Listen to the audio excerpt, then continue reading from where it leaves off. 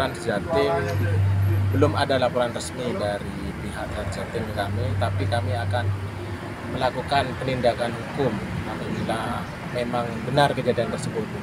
Kami himbauan kepada masyarakat Transjatim itu membantu masyarakat Bangkalan. Mari kita dukung dan kita lindungi juga karena itu dampaknya bagus ke masyarakat Bangkalan.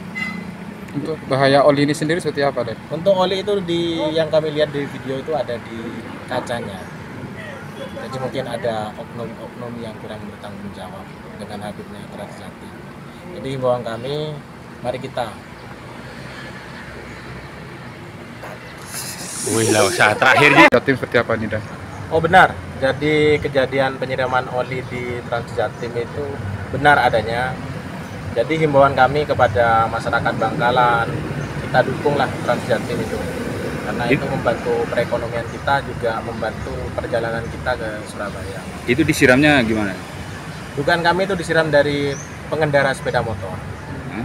Jadi kami himbau dari pihak Disub juga melaporkan resmi secara resmi ke kantor Polres Bangkalan. Kami juga akan meningkatkan giat patroli terutama tim lalu lintas untuk menjaga keamanan bus, bus Transjatim itu tersebut. Itu dilempar oleh pengendara motor dari searah. Dugaan kami searah. Karena itu dilempar ke kaca itu mengganggu pemandangan aja. Hmm. Pemandangan itu ja- sehingga jarak pandangnya jadi terbatas.